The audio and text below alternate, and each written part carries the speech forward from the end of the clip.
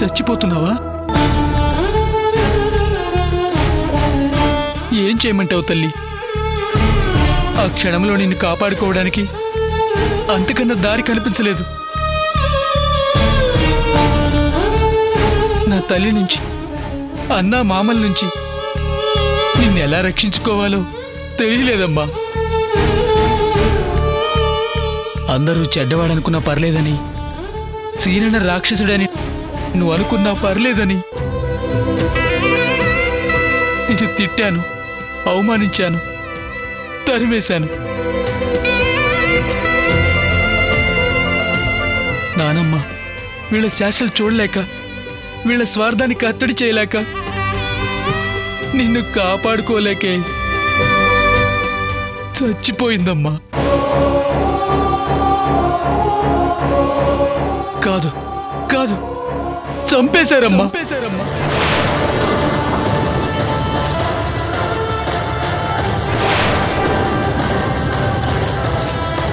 వీళ్ళే చంపేశారు. చంపేశారు.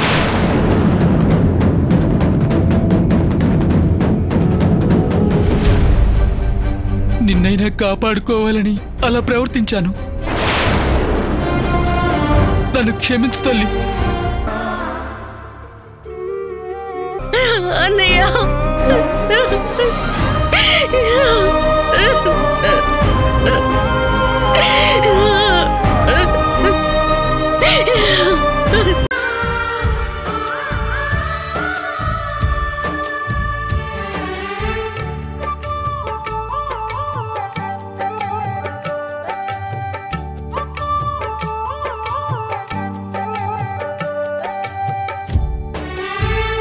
అమ్మా.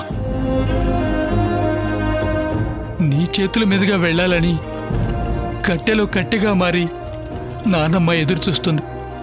పదమ్మా. వద్దన్నా. మళ్ళీ పెద్దమ్మ వాళ్ళు ఏదైనా చేస్తే నానమ్మ ఆత్మ శాంతించదు. ఆ అడ్డు కూడా తొలగించిందమ్మా ఆ గౌరమ్మ తల్లి. మావని దొరబాబానని పోలీసులు అరెస్ట్ చేశారు. నానమ్మని సాగనంపే బాధ్యత నీకే అప్పచెప్పిందమ్మా ఆ గౌరమ్మ తల్లి. పదమ్మా పద. నానమ్మ. నానమ్మ. నానమ్మ. నానమ్మా. ఊరుకో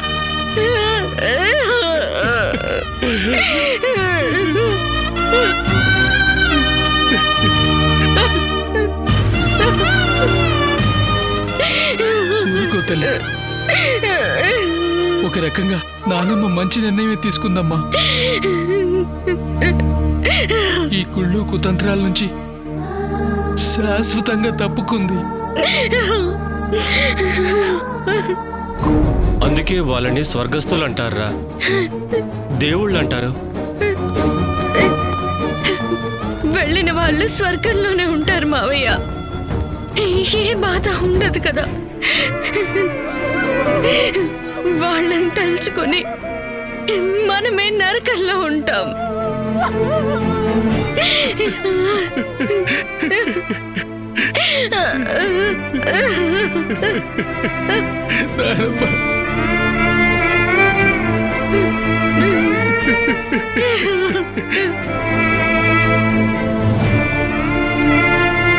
సీనయ్య కానీరా సీనయ్య మళ్ళీ చీకటి పడితే చితి వెలిగించకూడదు.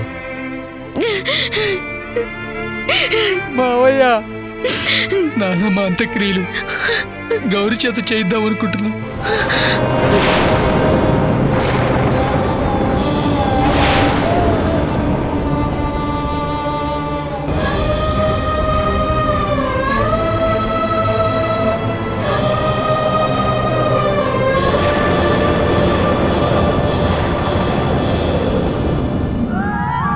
ఏంట్రా సీనయ్య నువ్వు చెప్పేది? ఆడకూతురుతో అంత్యక్రియలు చేస్తావా శాస్త్రం ఒప్పుకోదురా. పెద్దావిడ ఆత్మ ఘోషిస్తుంది. పెద్దావిడ ఆత్మ శాంతించేదే. గౌరీ తలకురు పెడితేనే మావయ్య. అయినా శాస్త్రాలేంటి మావయ్య? ఆడపిల్లలు ఏం చేయడం లేదు? వేదాలు నేర్చుకుంటున్నారు. అర్చకత్వం చేస్తున్నారు. వాదించడానికి ఇదంట్రా సమయం? నేను వాదించడం లేదు మావయ్య విషయం చెప్తున్నాను. గౌరీ అంటే నాన్నమ్మకు పంచ ప్రాణాలు. ఆ ప్రాణాలే ఇప్పుడు లేవు.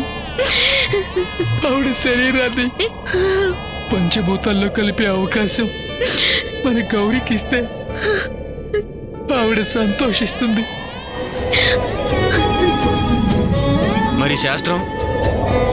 మనిషే శాస్త్రాల కన్నా ముందు పుట్టాడు మావయ్య. ఏదేమైనా గౌరీ చేత కర్మకాండ చేయిస్తా. అది కూడా గౌరికి ఇష్టమైతేనే. నానమ్మకి చివరి సంస్కారాలు చేయడం కన్నా మించిన తృప్తి ఏముంటుందన్నయ్య? ఇదో పవిత్ర కార్యంగా భావించి చేస్తాను. ఒక రకంగా వాడు చెప్పింది నిజమే. శాస్త్రాల కన్నా తృప్తి మనశ్శాంతి ముఖ్యం. సరేనమ్మా. నువ్వే కాని. నానమ్మ. నానమ్మ. నానమ్మ. శనయ్య త్వరగా కాని.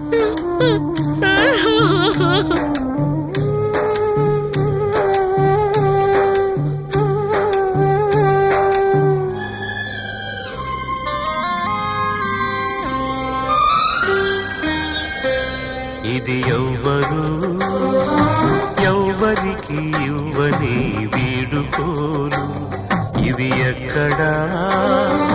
ఎన్నడూ జరగని అంపకాలు. దేవతా తరలిపో తల్లిగా మిగిలిపో. వదలలేక వదలలేక గుండె రాయి చేసుకుని ఎవ్వరు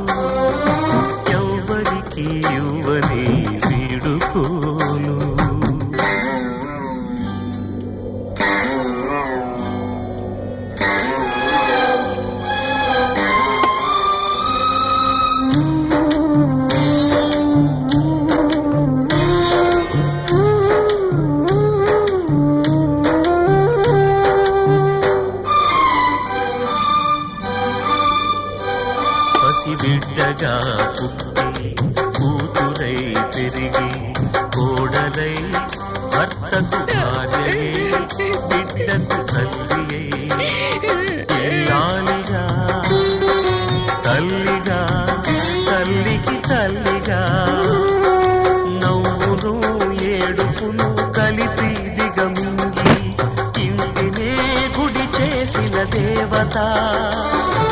సెలవిమ్మని అడిగితే ఇక సెలవిమ్మని అడిగితే ఇది కనని వినని నానమ్మ గౌరీ నువ్వు ఇక్కడ ఉండొద్దమ్మా నా మాట విను. నానమ్మ ఉండగానే నరకం చూపించారు వాళ్ళు. ఇప్పుడు ఆవిడ కూడా లేదు. వాళ్ళు మనుషులు కాదమ్మా జంతువులు. నా మాట విని వెళ్ళిపోమ్మా. ఎక్కడున్నావో అక్కడే సుఖంగా ఉంది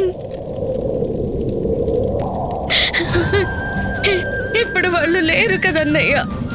పైగా నువ్వు ఒక్కడవే ఉంటావు.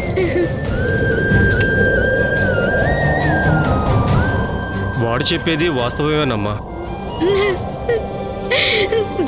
నువ్వు లేనప్పుడు నీ అడ్రస్ కోసం ఫోన్ నెంబర్ కోసం ఎంతగా ట్రై చేశారో నాకు తెలుసమ్మా.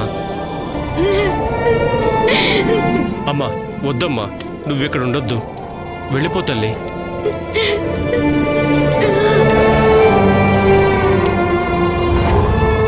అవును తల్లి. పరిస్థితులు చక్కబడ్డాక మళ్ళీ వద్దు గాని.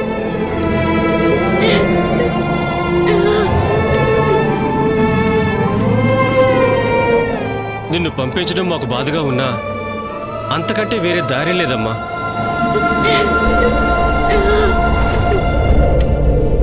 బయలుదేరు తల్లి.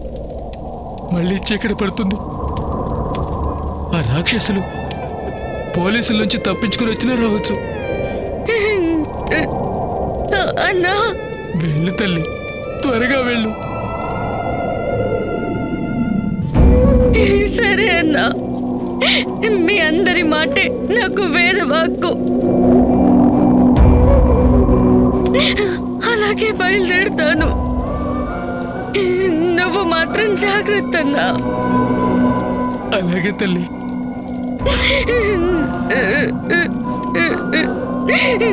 నానమ్మ.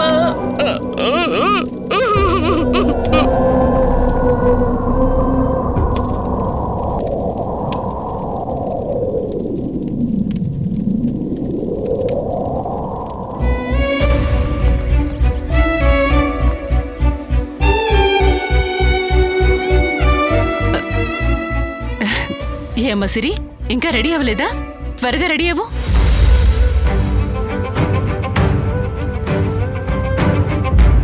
ఎక్కడ పెట్టానిది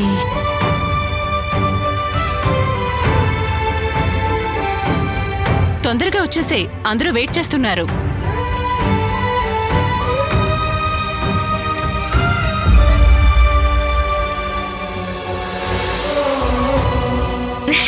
అక్క? అమ్మో! వచ్చేసావా? రాకుండా ఎలా ఉంటాను? నువ్వు మరీను. నిశ్చితార్థానికి నీ లేకపోతే ఎలా?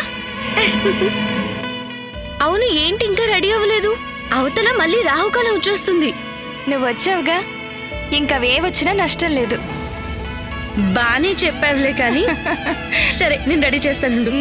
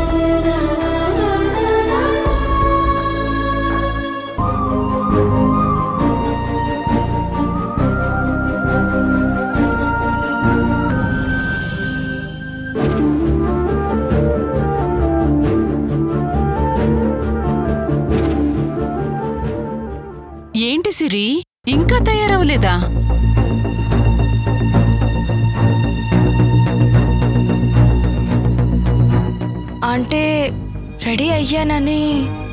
ఏంటో నువ్వు నీ ఆలోచనలు. టెన్షన్తో చచ్చిపోతున్నాను ఒక్కదాన్నే. సరే నేను రెడీ చేయనా? వద్దు మమ్మీ. నేను రెడీ అయ్యి వచ్చేస్తాను. త్వరగా వచ్చేసేనన్నా మ్మ్.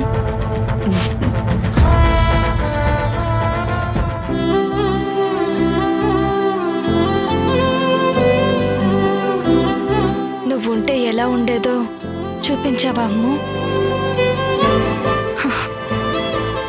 Miss you Ammu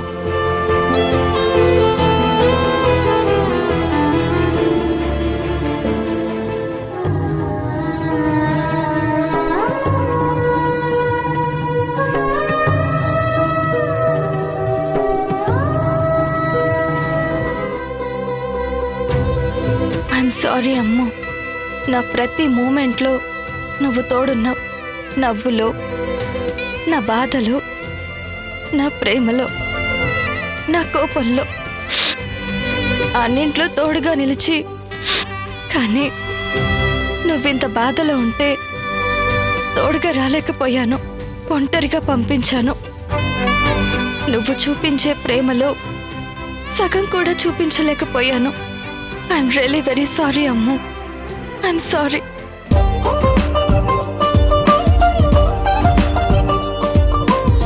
Karthik?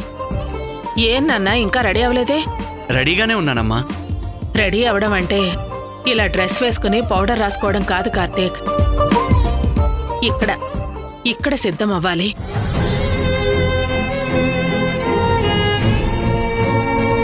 మగవాడి జీవితంలో భారీగా వచ్చే ఆడది. పెళ్ళి ఎలా జరిగిందని చూడదు నాన్న.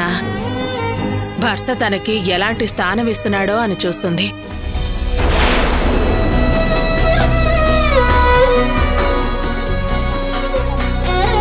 నిజమా అమ్మా?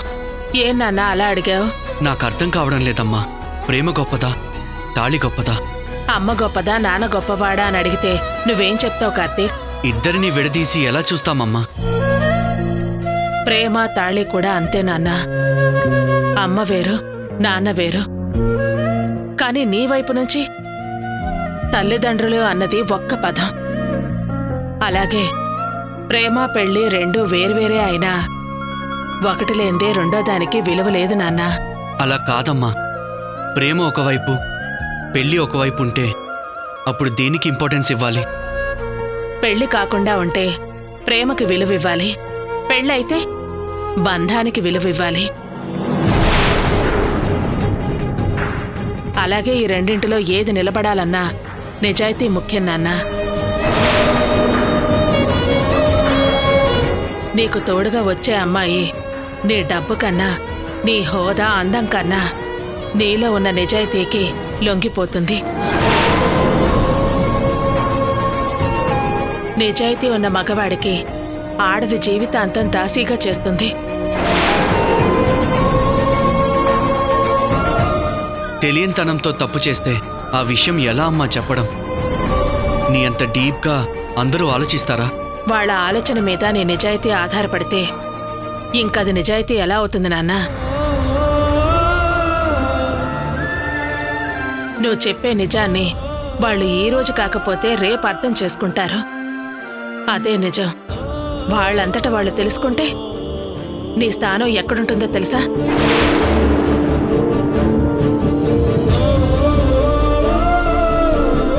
అయినా ఏంట్రా ఇదంతా? అవతల వెళ్ళే టైం అవుతుంటే ఇప్పుడు ఈ డిస్కషన్ పెట్టావేంట్రా? ఏమీ లేదమ్మా. ఎలాంటి ప్రాబ్లం వచ్చినా నువ్వు నాతో అడ్జస్ట్ అయ్యావే తప్ప.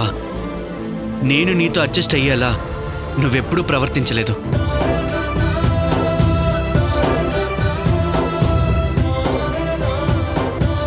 ఇక నుంచి నా జీవితంలోకి కొత్త మనిషి రాబోతుంది. అందుకే ఆడదాని మనసు అర్థం చేసుకోవాలని. అర్థం చేసుకోవడానికైతే చాలా టైం ఉందిరా ఇప్పుడు నిశ్చితార్థం ముహూర్తానికి టైం లేదు. అయినా నా కొడుకు బంగారం.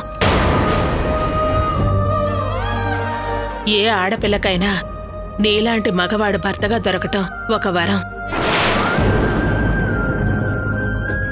ఆ, సరే సరే. ఇంకా విషయం గురించి ఎక్కువగా ఆలోచించుకో. నీకోసం అందరూ వెయిట్ చేస్తున్నారు. త్వరగారా అలాగే అమ్మా.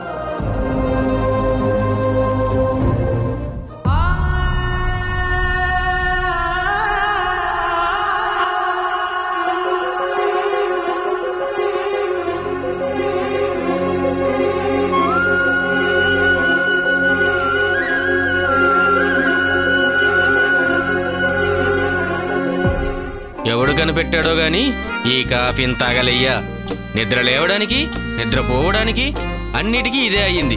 పంచామృతంలాగా.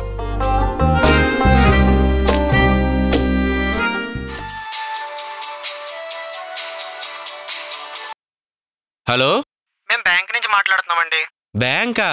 ఏ బ్యాంకు? హలో? హలో? సిగ్నల్ లేనట్టుంది.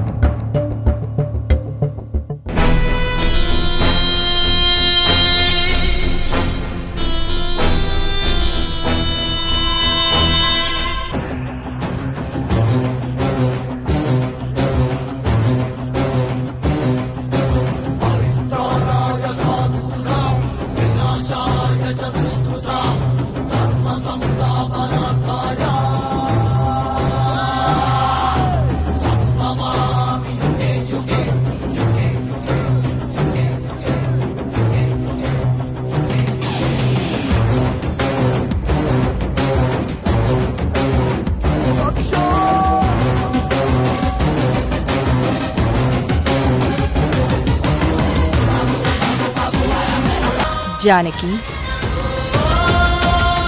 ఇది తాగి ఇక్కడే ప్రశాంతంగా పడుకో. నిశ్చితార్థం అయిపోయాక నీ కొడుకొచ్చి లేపుతాడు.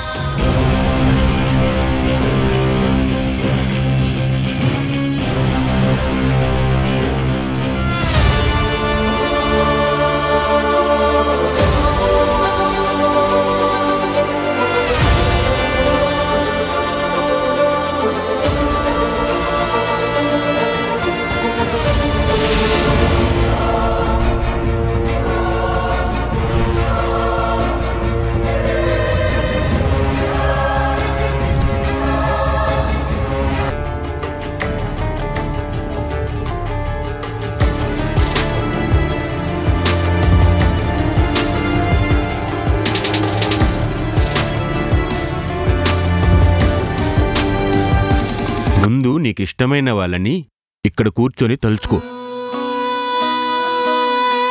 నువ్వు నీ ఉంగరం తొడుగుతుంటే ఆ అమ్మాయి ఎక్స్ప్రెషన్స్ తలుచుకో. కట్టబోయే తాలిని కాబోయే పెళ్ళిని కూడా తలుచుకో. నేను శిరీషతో వెంటనే మాట్లాడాలరా. ఇంకా ఈ విషయం దాచడం నా వల్ల కాదు. నాకు పెళ్ళైపోయిందన్న విషయం సిరికి ఇప్పుడే చెప్పాలి.